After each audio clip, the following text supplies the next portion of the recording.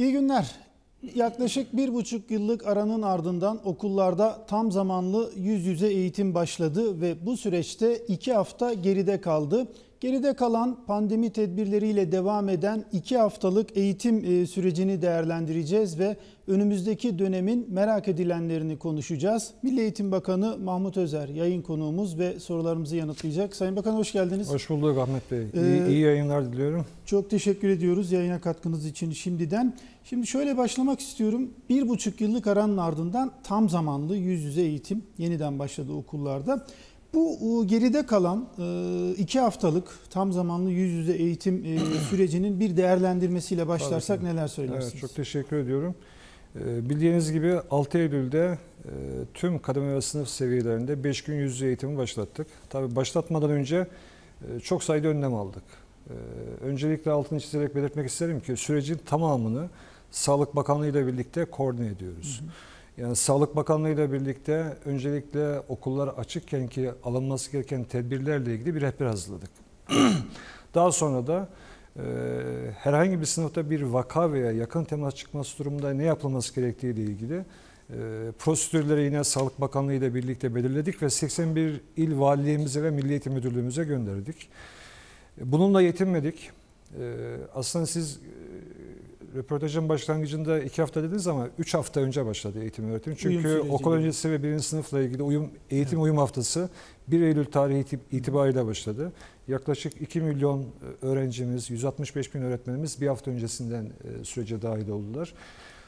Bir de biz e, bu sürece dahil olmadan önce okul öncesi ve birinci sınıf öğretmenlerimiz için 31 Ağustos tarihinde tüm öğretmenlerimize yönelik olarak bu rehber vaka durumunda nasıl davranılması gerektiği ile ilgili bir eğitim, e, bir günlük eğitim düzenledik. 6 Eylül'de açılacak tüm diğer kademe ve sınıf seviyeleri için de e, 1 ile 3 Eylül arasındaki o eğitime uyum haftasında öğretmenlerimizi bilgilendiren 3 günlük eğitimler düzenledik. Bu eğitimler düzenlenirken Sağlık Bakanlığı'nın e, rehberlerini baz alarak e, bir çerçeve oluşturduk. Diğer taraftan e, biliyorsunuz öğretmenlerimiz öğrenciler ve tüm eğitimdeki e, okula giren e, idari personel, yardımcı sağlık personeli hepsi e, okullara maskeyle giriyor. Evet. E, biz okul içerisinde maskeyle ilgili herhangi bir ihtiyaç olduğu zaman öğrenci ve öğretmenlerimizin ihtiyaçlarını ücretsiz bir şekilde karşılayacak şekilde tüm okullarımızın ihtiyaçlarını yıl sonuna kadar tüm ihtiyaçlarını karşıladık. Aynı zamanda okullarımızın temizlik ve hijyenle ilgili de ihtiyaç duyduğu tüm ödenekleri 2020 sadece Eylül ayı için değil 2021 yılının sonuna kadar ihtiyaç duydukları tüm ödenekleri okullarımıza gönderdik. Bununla da yetinmedik. Ee, okullarımızda kadrolu 71 bin tane temizlik elemanı var. Hı hı. İlave olarak Çalışma Bakanlığımızda toplum yararına çalışma programı kapsamında 50 bin temizlikçi eleman aldık. Ya buradan da e, kıymetli Çalışma Bakanımıza şükranlarımızı arz ediyoruz desteklerinden dolayı. Bununla da yetinmedik. Okullarımızda elektronik takip sistemi kurduk. Bu ilk defa yapılan bir şeydir.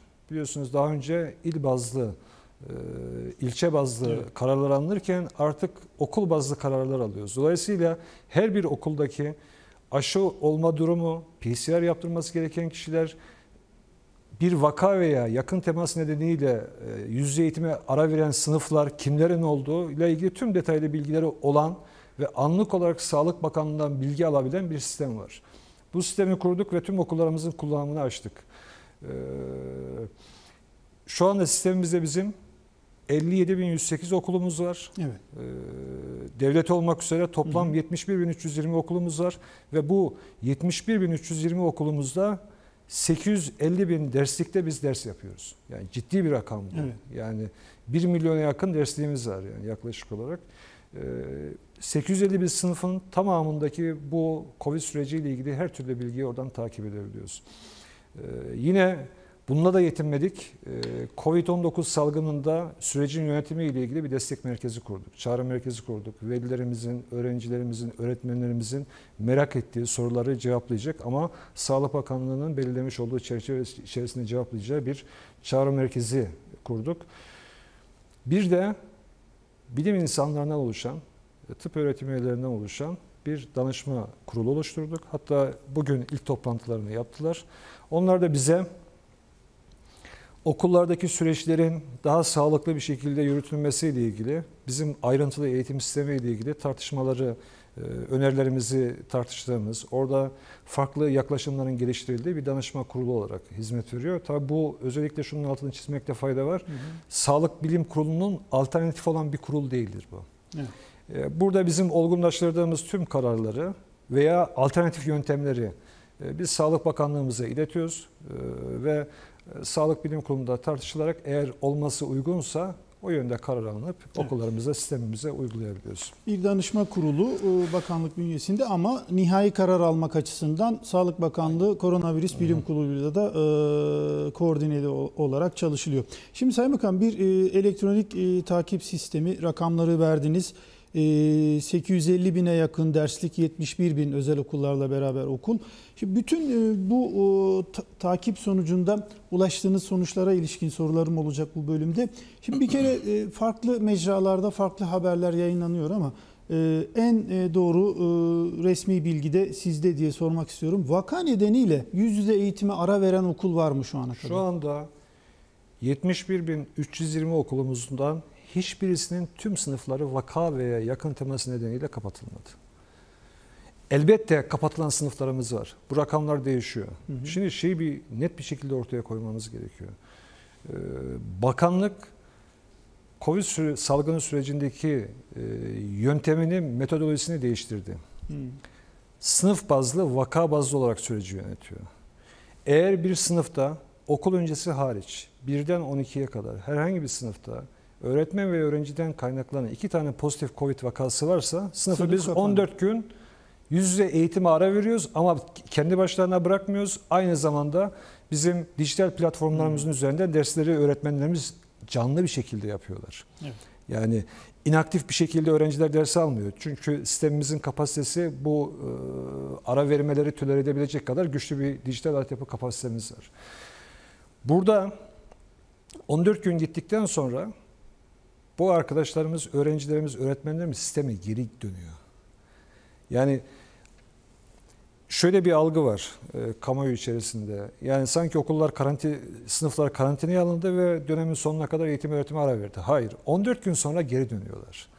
E, ve yüz yüze eğitime kaldıkları yerden devam, Devam ediyorlar. ediyor. Bu bu çok önemli bir yaklaşım. Yani vaka bazlı bir şekilde gidiyoruz. Evet. Eğer bir sınıfta vakanın etkilemediği sınıf varsa o sınıfı başka sınıftaki vaka nedeniyle kapatmıyoruz. Eğitim öğretim hat- hakkını ortadan kaldırmıyoruz. Bu çok önemli bir şey. Aynı zamanda toplumdaki Sağlık Bakanlığımızın her gün açıklamış olduğu vaka sayılarını bizler de takip ediyoruz, görüyoruz. Evet. Eğer trend artıyorsa bu artış mutlaka bizim sınıflarımızda yansıyor. Çünkü okullar izole ortamlar değil. Sadece ders ortamında izole ortamlar ama bu çocuklarımız 18 milyon öğrencimiz var bizim. 1.2 milyon Öğretmen. öğretmenimiz var. 100 binin üzerinde idari personelimiz var. Sadece servislerde çalışan şoför ve rehberlik e, hizmeti veren çalışan sayımız 150 bin yani. 20 milyonluk bir kitle. Eğitim öğretimden sonra bu 20 milyonluk kitle okul dışına taşınıyor. Gündelik Dola- Dolayısıyla evine gidiyor, alışverişe gidiyor, sosyalleşme mekanlarına gidiyor. Yani kapatılan sınıf sayısındaki artış gayet doğal. Çünkü toplumdaki vaka sayısı artıyor. Ama şunu diyemeyiz. Onu özellikle belirtmek istiyorum. Ee, bazen bazı veriler paylaşılıyor e, farklı yerlerde. Okullar yeterli önlemi almadığı için okullarda vaka artışı, e, kapatılan sınıf sayısı arttığının varsayımının dayandığı hiçbir bilimsel veri yok.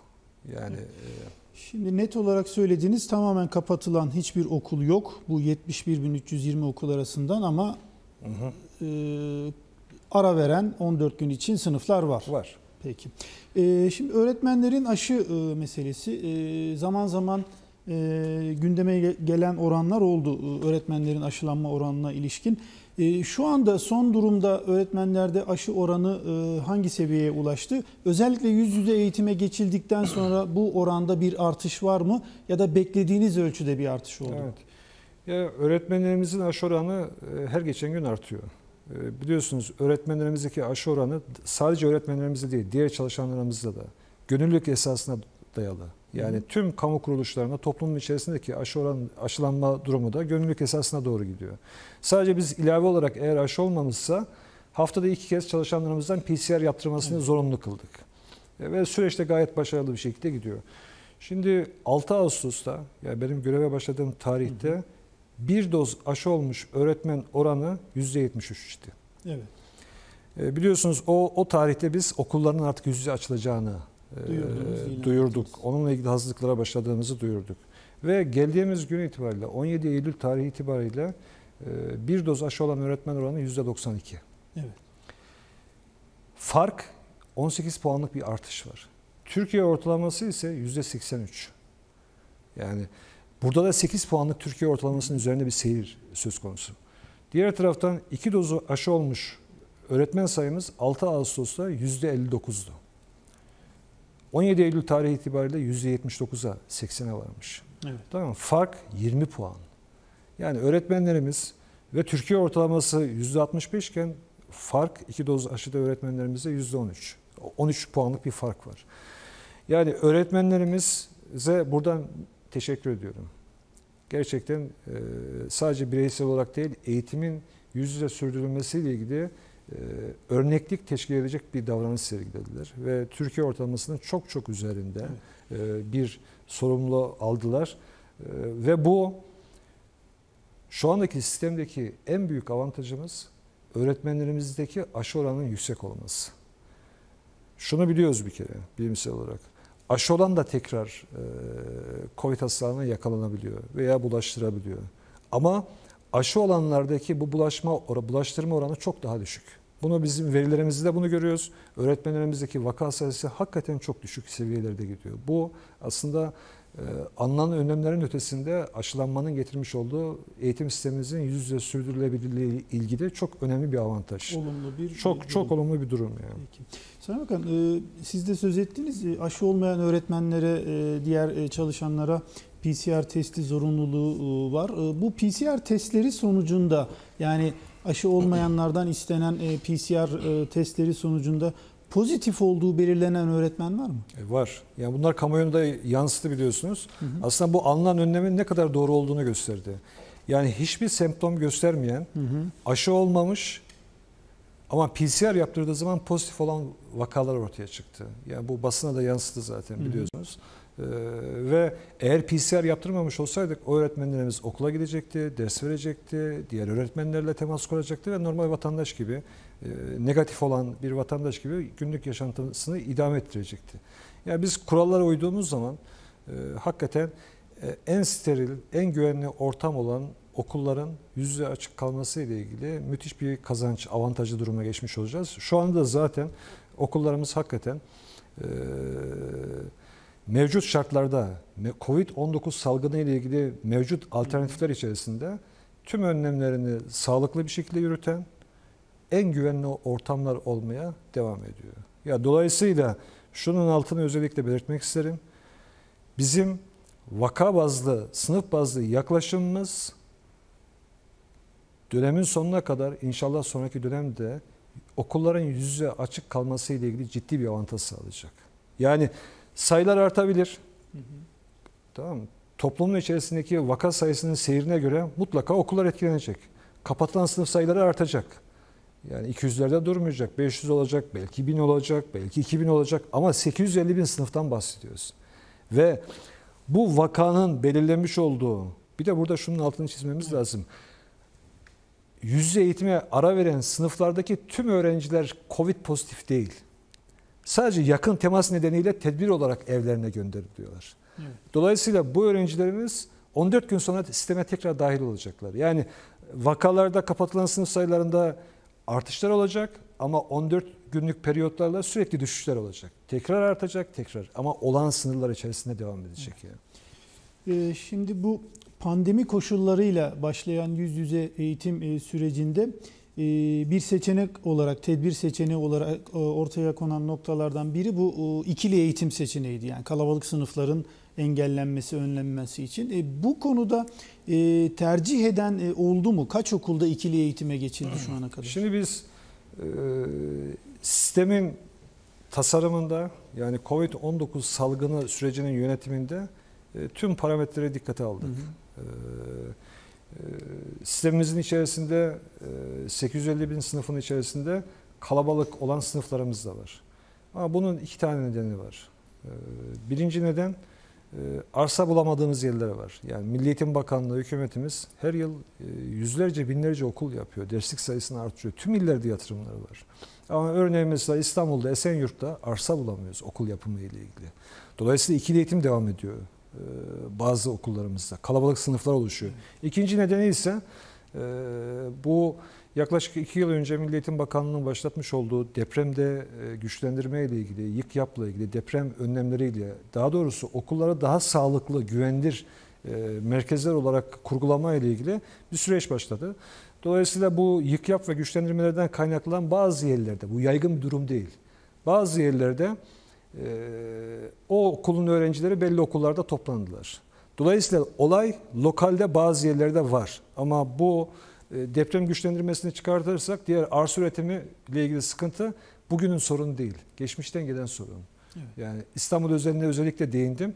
Ee, Orada İstanbul Valimizle şu anda çok ciddi bir çalışma içerisine girdik. İnşallah kamulaştırmayı nihayetlendirebilirsek oranın o problemini de çözmüş olacağız. Yani arsa olup da okul yapmama ve bu kalabalık sınıfları azaltmama diye bir yaklaşım yok. Ama bu mevcut bir durum. Buralara için özel tasarruflarda bulunduk. Dedi ki valiliklerimize, il milli eğitim müdürlüklerimize bu yaygın bir durum değil. Ama istisnai olan güçlendirmenin geciktiği veya asıl üret, üretilemeyip sınıfların kalabalık olduğu yerlerde şu inisiyatif kullanabilirsiniz. İkili eğitime geçin. Tamam mı? Yani sınıfları seyreltelim, kalabalık sınıfları. Veyahut da e, ikili eğitime geçilemiyorsa, e, başka sıkıntılar varsa ders saat süresini kısaltabilirsiniz. Yüz yüze eğitim gün sayısını azaltabilirsiniz. Azaltabilirsiniz. Ta ki o problem çözülene kadar. Yani şu anda mesela tüm Türkiye'de 200'e yakın okulumuz sadece bu tedbirden dolayı ikili eğitime geçti. Ee, Dolayısıyla biz sistemin tamamındaki lokal olarak bulunan problemleri yerel paydaşlarımızla birlikte e, sağlıklı bir şekilde yönetiyoruz. Bununla ilgili süreçle ilgili hiç problem yok. Bizim itirazımız, itirazımız tek bir noktada. Bu yaygın bir durum değil. Hmm. Yani sanki tüm Türkiye'deki 850 bin sınıfının hepsi kalabalıkmış gibi, her tarafta ciddi bir kalabalık sınıf varmış gibi bir algı oluşturmasını eğitim sistemimizin yüz yüze eğitime devam etmesindeki sürdürülebilirlikle ilgili e, problem olarak görüyorum. Evet. Ya buna bu sonuçta bu Türkiye Cumhuriyeti Devleti'nin ve tüm yurttaşlarımızın, vatandaşlarımızın problemi. Bizim e, daha önceki konuşmalarımda da değindim. E, Eğitimin artık bir buçuk yıldan sonra Covid şartlarındaki çözümler aşılanmayla ilgili gerçekten ciddi bir erişim imkanı oldu. Türkiye'de birinci doz aşısı olan vatandaş sayısı e, ciddi oranda arttı. İkinci doz vatandaş sayısı yani aşıya erişimle ilgili hiç problem yok. Başka çözüm de yok şu anda. Yani. Bizim hayatı normalleştirmemiz için eğitim sistemini normalleştirmemiz gerekiyor. Eğitimi normalleştirdiğimiz zaman da ama kurallara uyarak Evet. çözemeyeceğimiz hiçbir problem olduğuna inanmıyorum ben. Peki. Şunu e, tekrar edip e, verdiğiniz bilgiyi diğer soruma geçeceğim. 71.320 e, toplam okul içinden 200'e yakınının ikili eğitime geçtiği bilgisini e, tekrar etmiş olayım. Şimdi e, hafta ortasında ya da hafta içinde diyeyim bir e, haberle e, gündeme geldi. Bu hafta sonu eğitim e, meselesi. E, onu baz alarak, onu temel alarak şunu da sormak istiyorum. Önümüzdeki dönem için yani siz bir temel hedef koydunuz ortaya. Yüz yüze eğitimin e, ne e, olursa olsun devamı gibi. Bu kararlılığı ya da bu e, niyeti devamlı kılacak başka tedbirler gündeme gelir mi eğitim sistemi, eğitim süreci için? Evet, şimdi öncelikle o haberleri biz izledik. Yani hafta sonu eğitim yapma ile ilgili sistematik olarak bir yaklaşımımız yok. Biraz önce de demin altını çizmeye çalıştım. Okul bazlı, sorun bazlı okullarda çözümler üretiyoruz. Evet. Ha bir okulda bir problem varsa gerçekten e, ikili eğitim değil işte üçlü eğitime geçmesi gerekiyorsa hafta sonunu kullanabilir. Ama bu yaygın bir durum değil. Ya biz il ve ilçelerde şuna izin vermiyoruz bakanlık olarak. Bir il ve ilçenin tamamını 30, 30 dakikaya geçirelim süreyi. Hayır yani şu anda buna ihtiyaç yok yani. Çünkü süreç yönetilebiliyor. Ha bu şu demek değil. Yarın veriler, bilimsel veriler geliş, değiştiği zaman güncellenmeyecek anlamına gelmiyor. Bunları güncelleyeceğiz. E, mesela e, Sağlık Bakanımızla e, geçen günde görüştük. E, şimdi biraz önce bahsettiğim gibi e, herhangi bir sınıfta iki vaka olması durumunda e, sınıfımızı 14 gün yüz yüze eğitime ara veriyoruz. Okulda evlerinde eğitime devam ediyorlar dijital platformlar üzerinden. E, şimdi Sağlık Bakanı şöyle bir öneri götürdük. Yani sınıftaki diğer öğrenciler yakın temaslı kabul ediyor ama hiçbir semptom göstermiyor.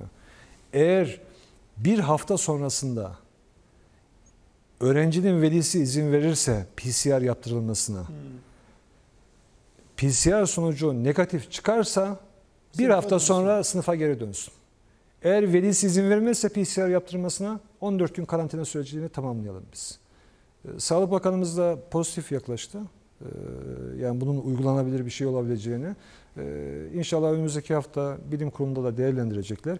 Böyle bir şey olduğu zaman e, ara verilen sınıfların tekrar yüzde eğitime dönme süre aralığı daralacak. Evet. Dolayısıyla çok daha sürdürülebilir bir yaklaşım ortaya konmuş olacak. Bu da oldukça önemli.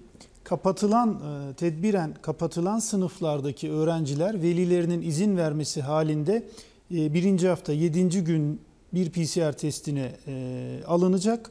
Test negatif çıkarsa sınıfa geri dönecek. bir 14 günü sonraki hafta beklemeden. evet, Evet. e, Peki. sınıfa geri dönecek. O zaman siz e, bu bilim kurulunda tartışılıp ona göre karar verilecek. Siz e, bu konuya girmişken şunu sorayım o zaman. Şimdi e, yine gündemde oldukça konuşulan başlıklardan biri bu okullarda rastgele PCR e, taraması. Buna ilişkin ayrıntılar e, kesinleşti mi? Yani artık hani yola çıkıp başlayacak e, derecede karar verilen e, noktaya geldi mi? Ve bu böyle eğitim yılı boyunca e, devam edecek rutin bir uygulama olacak mı? Evet bu biliyorsunuz bizim normal rutin önlemlerimizin haricinde Hı hı. Sağlık Bakanlığı'nın örneklemler üzerinde okullardaki durumu e, kontrol edebilmek için e, random bir şekilde Milli Eğitim Bakanlığı ile bir şekilde yürüteceği bir e, yaklaşım. E, bu okullardaki vakalarla ilgili e, sağlık önlemleriyle ilgili toplumu rahatlatacak bir önlem. Orada bir noktaya açıklık getirmiştik geçen hafta.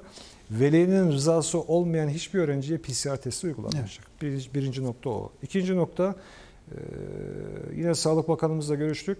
E, Burundan PCR alınmayacak çocuklarımızda. Yani tükürük üzerinden PCR Hmm. testi yapılacak. Dolayısıyla çok daha kolay uygulanabilir bir PCR yaklaşımı olacak. Bu bizim elimizi güçlendirecek. Çünkü rutin önlemin dışında arada farklı zamanlarda herhangi bir tespit edemediğimiz, bir vaka varsa tedbiri alarak o sınıflarımızı e, yüz yüze eğitime ara vererek 14 günlük veya işte Sağlık Bakanlığı kabul ederse bir haftalık süre sonra tekrar eğitim sistemine döndürme ile ilgili ilave bir kontrol mekanizması e, getirecek. Burada ağırlık vereceğimiz yerler okullardan ziyade pansiyonlarımız olacak. Çünkü şu anda en sıkıntı yaşadığımız yerler pansiyonlar. Yani öğrencilerimizin kaldığı yerler. Öğrenci Ee, şu anda öğrenci yurtlarımız, pansiyonlarımızda e, doluluk oranı çok düşük. Yani %59'larda. Yani Hı. dolayısıyla mesafe ile ilgili süreçleri rahat yönetebiliyoruz. Evet. Onlar ilk başlangıçta da PCR yaptırarak, yaptırtarak e, pansiyonlarımızı aldık. Ee, İnşallah bu örneklemi, random örnekleri e, pansiyonlar için randomu yapmayacağız. Yani belli periyotlarla oradaki öğrencilerimiz için yine velilerin rızası dahilinde e, PCR yaptırtıp e, süreci daha kontrollü, bilimsel veriler ışığı altında yönetebilme imkanına kavuşmuş olacağız. Ee, Sayın Bakan şimdi bu süreçte il bazlı, okul bazlı e, kararlar alınabilmesi yani bir anlamda hızlı hareket edebilmek için, e, hızlı kararlar alınabilmesi için il milli eğitim müdürlüklerine tanınan yetkiler var. E, bunların e, artmasına yönelik bir e, çalışma var mı? Yani ya da e, hangi durumda daha artan yetkilerle il milli eğitim müdürlüklerinin devreye girebileceği bir süreç öngörüyorsunuz? Ya buradaki en büyük problem biraz önce de bahsettiğim gibi kalabalık sınıflar veya deprem güçlendirme ve yıkım çalışmalarından dolayı kalabalıklaşmış olan bölgeler. O bölgelerle ilgili valiliklerimiz, sadece milli eğitim müdürlüklerimiz değil, tek başına tasarruf yapmayacaklar. Valiliklerimize koordineli bir şekilde yerelde karar alabilecekler. E, Ama bunun e, sonsuz bir yetki değil bu yani. Sonuçta eğer sistematik sadece okul değil, ilçe veya ille ilgili karar almalar gerektiği zaman Milli Eğitim Bakanlığı bu, bu sürece dahil olacak ve e, sistematik yaklaşımlarını Sağlık Bilim Kurulu ile birlikte karar mekanizmalarına dönüştürerek e, işletecek. Dolayısıyla Ee, Şu anda il milli eğitim müdürlerimiz özellikle onu belirteyim. Kalabalık olan okullarda, kalabalık olduğu varsayılan okullarda e, ikili eğitime geçme, ders saat süresini kısaltma, haftalık yüz eğitim gün sayısını azaltmada Hı hı. tam yetkilidir. Evet. Ee, şunu sormak istiyorum. Son dakikalara geldik. Ee, şimdi uzun bir aradan sonra tekrar yüz yüze eğitim başladı. Öğrenciler okullarına kavuştu. Öğretmenler öğrencileriyle buluştu. Ama e, bu sürecin, bu sistemin en önemli bileşenlerinden biri veliler. Yani siz Milli Eğitim Bakanı olarak e, yüz yüze eğitim sürecinin daha sağlıklı ilerleyebilmesi için velilere ne söylersiniz? Velilerden beklentileriniz nedir? Evet bu e, sürecin sağlıklı bir şekilde yürütülmesi sadece Milli Eğitim Bakanlığı'nın görevi değil. Onun için ben önceki konuşmalarımda iki şeyi bir arada söyledim. Bir, okullar ilk açılacak, en son kapatılacak yerlerdir. İki, eğitim bir milli güvenlik meselesi. Milli güvenlik meselesine tüm yurttaşlarımızın, tüm vatandaşlarımızın, tüm velilerimizin sürece aktif olarak katılması lazım. Ya şunun özellikle belirtmem gerekiyor. Virüs okulları seçmiyor. Virüs sadece okullarda yayılmıyor. Virüs insanların bir araya geldiği her ortamda yayılabiliyor. Dolayısıyla bu 20 milyonluk kitle okul dışına çıktığı zaman sağlık kurallarına riayet ettiği gibi diğer velilerimizin de anne babaların, akrabaların, e, çocuklarımızın bu hakkının devam edebilmesi için mutlaka Sağlık Bakanlığı'nın belirtmiş olduğu kurallara riayet etmesi gerekiyor ki e, okullarımızı yüz yüze aşma ile ilgili irademizi sürdürülebilir kılalım. E, vatandaşlarımız da bu konuda çok duyarlı. Her geçen gün e, tabii başlangıçta belirsizlikler vardı. Yani iki haftayı atlatmak bu sürecin içerisinde öyle kolay bir şey değil. Evet. Yani 18 milyonluk bir kitle, işte 850 bin sınıfın olduğu bir şey. Allah'a şükür herhangi bir sıkıntı olmadan kontrollü bir şekilde e, atlatıldı. Bundan sonra çok daha hassas olacağız. Velilerimiz de sürece hassas olacaklar. E, Aşı olmayan velilerimiz aşılarını olsunlar, sağlık önlemlerine riayet etsinler. Öğretmenlerimizdeki süreç gayet iyi gidiyor. Herhangi bir sıkıntımız yok. E, İnşallah el birliği yapacağız ve e, okullarımızı açık tutmak için her türlü çabayı sarf edeceğiz. Sonrasında da okullarımızdaki e, geçmiş yıllardan gelen kaynaklanan eksikliklerin telafi ile ilgili mekanizmaları da sistemin içerisine gömeceğiz. Peki. Sayın Bakan birkaç dakikamız daha var. Onu da değerlendirmek istiyorum. Ee, farklı bir konuda bir soruyla tamamlayalım. Ee, yanlış hatırlamıyorsam 7 yıl aradan sonra Milli Eğitim Şurası toplanacak. Aralık ayı başında Ankara'da. Ee, gündeminde neler olacak Milli Eğitim Şurası'nın? Evet, e, inşallah Sayın Cumhurbaşkanımızın e, himayelerinde 1-3 Aralık tarihleri arasında Ankara'da e, 20. Milli Eğitim Şurası'nı toplayacağız. Milli Eğitim Şurası'nın ana teması eğitimde fırsat eşitliği. E, ve bunun 3 alt e, başlığını oluşturduk. Ki bakanlık olarak da Milli Eğitim Bakanlığı olarak da bizim en fazla üzerinde durduğumuz, bu dönemde duracağımız konu olacak bu konular. Birincisi e, eğitimde fırsat eşitliği için temel eğitim. İkincisi mesleki eğitim. Yıllardan beri şikayet edilen mesleki eğitim. Üçüncüsü de e, tüm eğitim sistemlerinin ana omurgası olan öğretmenlerin mesleki gelişimi. E, bakanlık olarak sadece Milli Eğitim Şurası'na değil, bu konularla ilgili hem e, temel eğitim, yani okul öncesine erişim, e, özellikle dezavantajlı bölgelerdeki okul öncesine erişimle ilgili, eğitim erişimle ilgili önemli paketleri inşallah önümüzdeki günlerde kamuoyuyla paylaşacağız. Meslek eğitimde zaten ciddi bir ivme yakaladı. Onunla ilgili farklı düzenlemeler de inşallah yapacağız. Öğretmen zaten en kritik noktamız. Evet. Yani biz öğretmenlerimizi bu süreç içerisinde sürekli destekleyeceğiz. Yani sadece mesleki gelişim olarak değil, liderlik gelişimiyle ilgili, yönetim, yönetimsel şeylerle ilgili, kişisel gelişimleriyle ilgili çok çok boyutlu e, eğitim sürecine dahil edeceğiz. Bu şura eğitim sistemimizin o fırsat eşitliği ana teması altında en önemli konular olacak. İnşallah çok geniş katılımlı, tüm paydaşlarımızın katılımıyla e, bu konularda hem yaptıklarımızı hem de yol haritamızı, ülkemizin yol haritasını çıkartıp onlara uygulama imkanı bulacağız. E, Ben e, 20. Milli Eğitim Şurası'nın bu vesileyle e, hayırlı uğurlu olmasını diliyorum. E, Sayın Cumhurbaşkanımıza da bu şuranın toplanması ve sürecin takip edilmesindeki desteklerinden dolayı en içten şükranlarımı sunuyorum. Peki. Çok teşekkür ediyoruz yayına katkınız için, sorularımızı yanıtladığınız için. Ben çok teşekkür ederim. Evet. Sağ olun. Evet, e, yaklaşık bir buçuk yıllık aranın ardından okullarda yeniden başlayan tam zamanlı yüz yüze eğitimle ilgili geride kalan, geride kalan zamanı konuştuk. Önümüzdeki döneme ilişkin merak edilenlere, alınacak olası önlemlere baktık. Milli Eğitim Bakanı Mahmut Özer sorularımızı yanıtladı. Tekrar görüşmek dileğiyle.